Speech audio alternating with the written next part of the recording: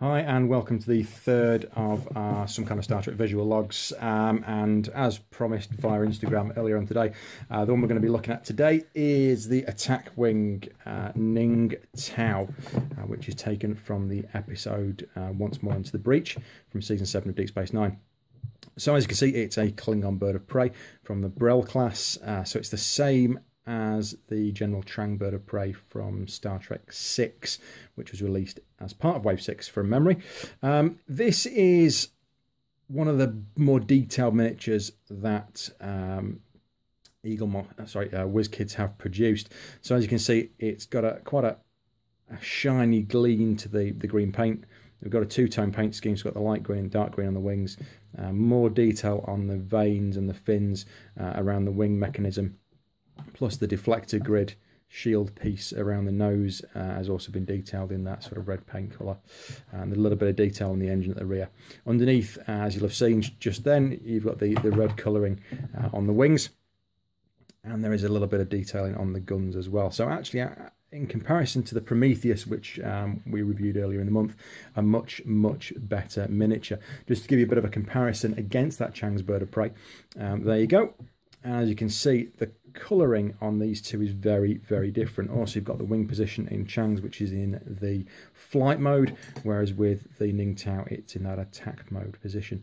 A lot duller paint scheme on Chang's Bird of Prey from uh, from the Undiscovered Country, um, but and to be honest, I actually do prefer it. I just think this is the the Ning'tao is perhaps a little bit more pimped.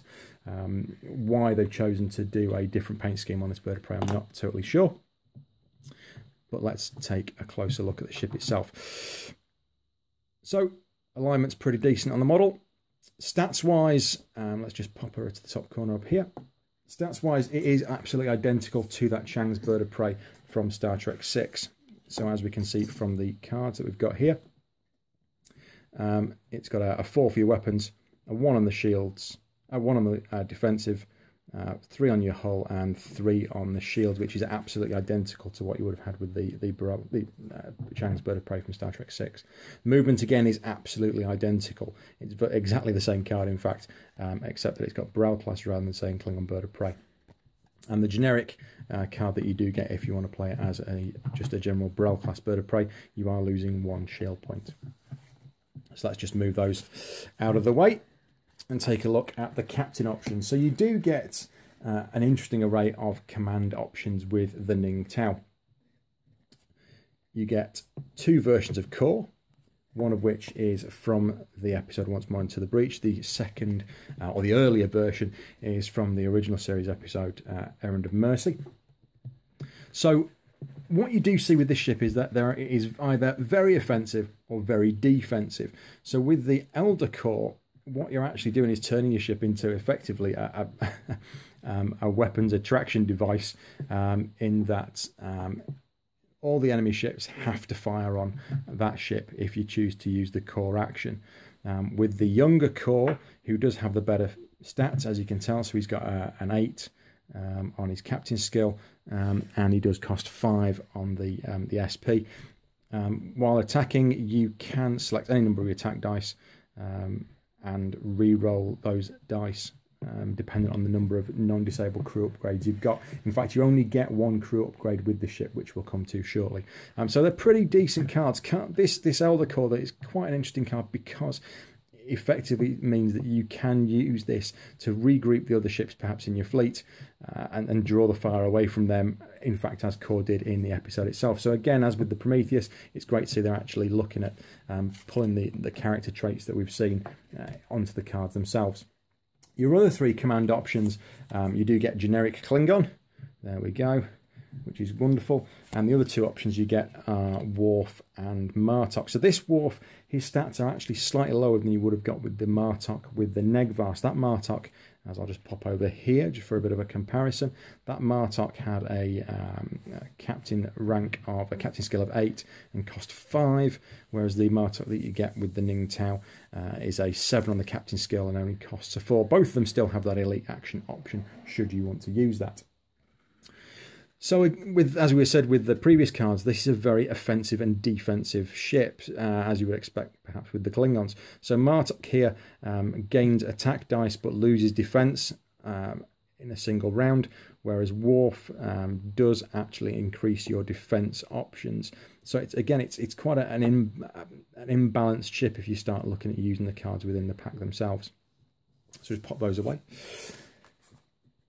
As usual, you do get the, the two options with the stand. So we're just going to pop the, uh, the bird of prey onto the stand now. So as always, your, your options for the ship are your sensor echo, cloaking, target lock, and your evasive maneuvers. As we've seen there, we've already seen we've got the four ship stats. What I'm going to do is uh, just keeping it in with the episode itself. We're going to put Kor on as our captain. So let's just pop the stand on. As usual, pretty decent fit. Uh, and because they've now realised that uh, they needed a bit thinner cardboard for these, they do fit in pretty nicely, as you can see there. Let's pop the, uh, the bird of prey onto the top. And there we go. Just a slight off centre with this one. Not quite as bad as we had with the Prometheus last time. But we'll pop that just to the side here so we can still see him. Okay, so let's take a look uh, a bit more detail at the rest of the ship. So we've had a look at the captains. Um, we've had a look at the, uh, the ship itself our one crew option that we did talk about is this one. It's Darok. So once you've performed, uh, you can use him to perform an additional action as a free action. So you can effectively take anything you want for one turn, but you do lose the option of this card. Again, he's a uh, an option of a 5 SP for your ship, and he can only be bought for, as you would expect, Klingon ships.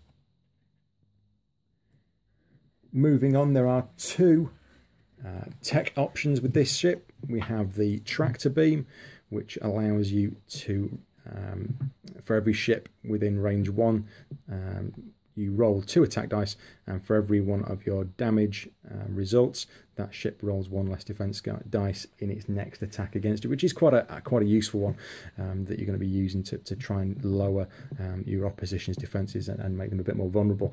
Again, with the bird of prey, you're more than likely to be using these as your somewhat like your cannon fodder, um, given their speed and their defenses, and then let things like your uh, Vor'cha and your Negh'Var classes go in um, to, to finish off the job.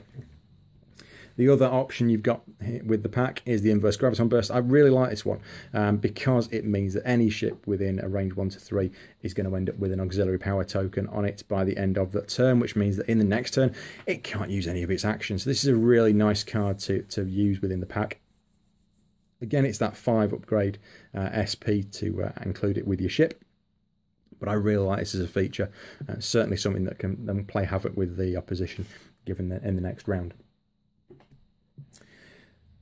Your two uh, weapon options that come with the Ning'tao are your uh, strafing attack, which uh, immediately allows you to ta target two other ships after attacking, uh, which are within range one, and make an additional three dice attack against each of those ships.